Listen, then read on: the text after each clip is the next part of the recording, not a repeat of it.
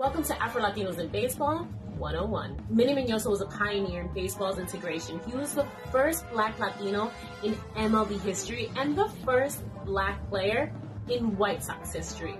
As a 1951 rookie, he was also one of the first Latin Americans to play in an MLB All-Star game. Miñoso's career went from the Negro Leagues to the Major Leagues, having played from the mid-1940s all the way through the 80s.